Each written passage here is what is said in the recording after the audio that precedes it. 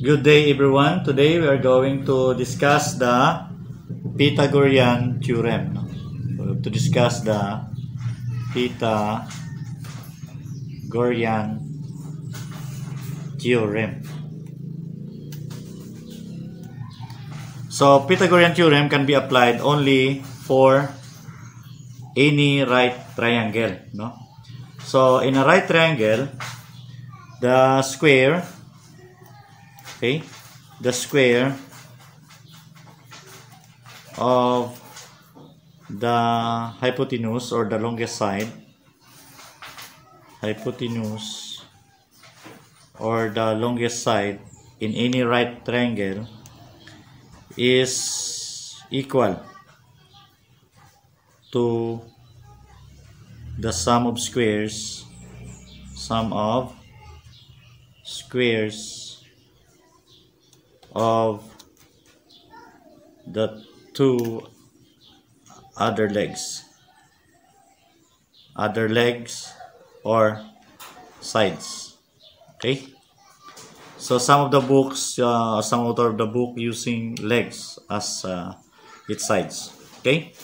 So the square of the hypotenuse is equal to the sum of the squares of the two other legs or sides. That is the statement under Pythagorean theorem.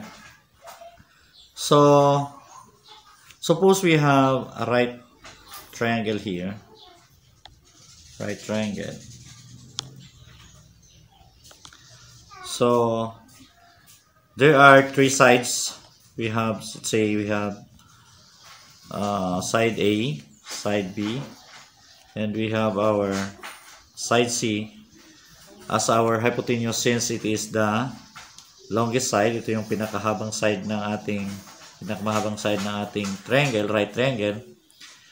So, at the same time, we could easily identify our hypotenuse since it is the opposite of our 90 degrees or the right angle, automatically that will be your hypotenuse or side C. In this case only, no?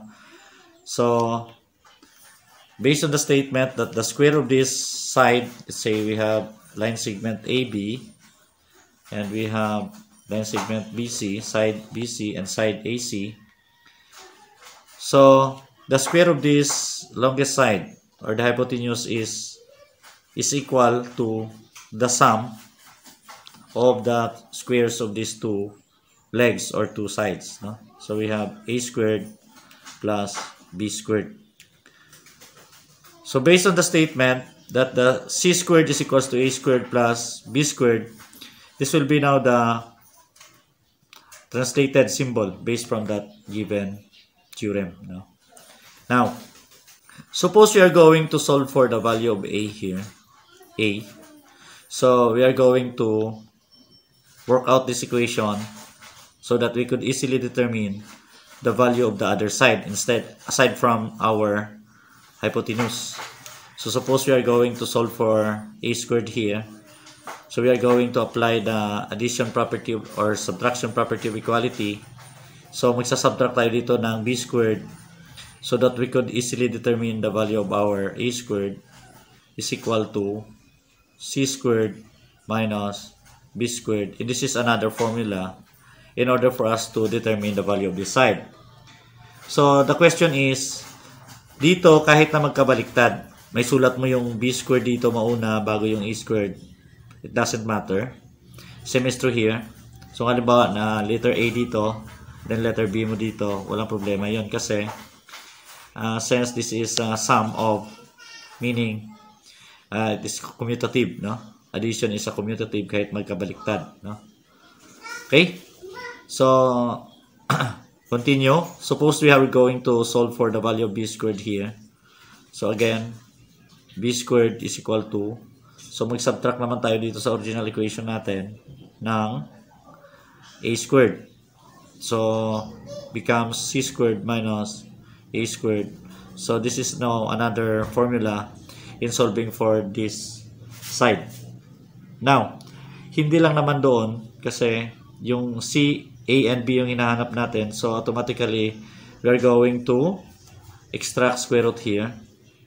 so that we could easily we could determine the value of c as our side or distance from that point up to that point and apply again the extracting square root here mag-extract tayo ng mga square roots dito para makukuha natin yung value ng a, b, and c so gawin natin simple ito so paano? So ang concept dito again is square natin yon is equals to the sum of the square of these two sides pag add natin yan yung mga squares niya pareho doon sa magiging value na ating c square or yung uh, square of that hypotenuse. So, meaning if you have to determine the value of your c here, automatically your c now becomes equals to the square root of a squared plus b squared. Okay? So, yan yung magiging formula mo talaga when you are looking for that value of your c. Semester here, a.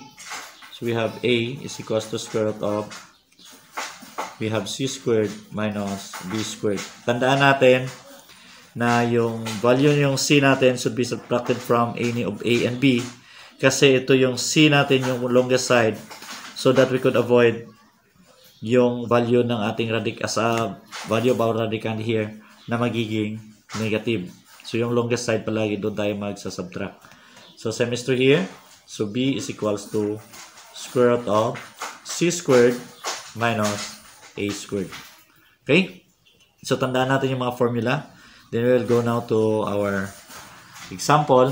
Suppose that a given, in a given uh, right triangle, so, paano natin may solve, no? Using that formula. Okay, suppose we have a triangle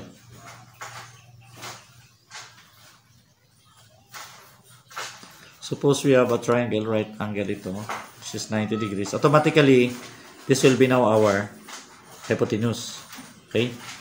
So, suppose this will be your C, this will be your A, or this will be your B, and we have a given here. Suppose, halimbawa, yung B natin, say, this is uh, 3 units, or 3, the value of your B is, say, this is 4, so we have to look for the value of our C. Hanapin natin ngayon yung value ng ating C. So, based on the statement kanina, so automatically, gagawin natin is square natin yan. Then, i-add lang natin yung square nito. No? Yung dalawa. So, suppose we have C square is equals to kahit magkabaliktad, so B squared plus A squared, no problem yon kasi this is uh, addition, no? commutative yung addition kahit magkabaliktad. Now, so this is 90 degrees. So, substitute natin. The value of our b is 3 squared plus the value of our a is 4 squared. So, this will become equal to 9 plus 4 times 4 is 16. So, our c squared now is equals to 25. Since ang hinahanap natin ay hindi c squared, kung hindi c lang, so therefore, we need to extract square root here so that this will become equals to negative or positive square root of 25. So, bakit naging negative positive? Since, if you have to square 5 here, since 25 is a perfect square, so c is equals to plus or minus 5 Negative 5 times negative 5, babalik tayo dun sa original na 65 as the value of our c squared. Kung positive 5, ganun pa rin. But, since we are talking on a distance, about distance, so therefore, the value of our c is we have to take positive, which is equals to 5. And this will be now the value of your c. So, instead of, if the two sides are 4 and 3, in any right triangle, automatically, the value of our c here is become 5. Okay? So, yun lang concept natin dito. Square lang natin yan. Then, square natin yon Then, i-add natin. Then, we have to find the extract square root. Automatically, that will be now the result of your hypotenuse or the longest side C. Yun ay pag halimbawa hinahanap natin yung value ng ating C. Suppose A ang hinahanap natin. Suppose halimbawa A. Halimbawa, yung A, hindi natin alam na 4 yun. No? Suppose this is uh, hindi natin alam na 4 yan. So same process, same formula that we are using, that we will be using. We have c squared is equals to b squared plus a squared. Since a squared ang hinahanap natin, a. So isa-subtract natin ito, magiging a squared is equals to c squared minus b squared. So again, substitute lang natin, 5 squared minus, minus na, hindi na add, magiging 3 squared. So 25 minus 3, 6, 25 minus 60, uh, 9. So automatically your A is equals to square root of 16 is 4. So your A is equal to 4. So magiging 4 yun. So balance pa rin. No? Kung A ang hinahanap natin. Same is true with B. Okay? So suppose B, we're looking for the value of your B. So B squared is equals to hypotenuse natin, yung longest side, doon palagi magsasubtract. We have C squared minus A squared natin. Halimbawa, hindi natin alam yung B na 3 yan. Halimbawa, hindi natin alam. Okay? So, B squared now equals to, substitute palagi, we have 5 squared minus, your A natin dito is 4 squared, ay magiging 25 minus 16. Okay, 16. So your B now equals to 25 minus 16 is 9. So square root of 9. And your B is equals to 3. Okay, so this will become equal to 3. Okay, so 3. So that's it.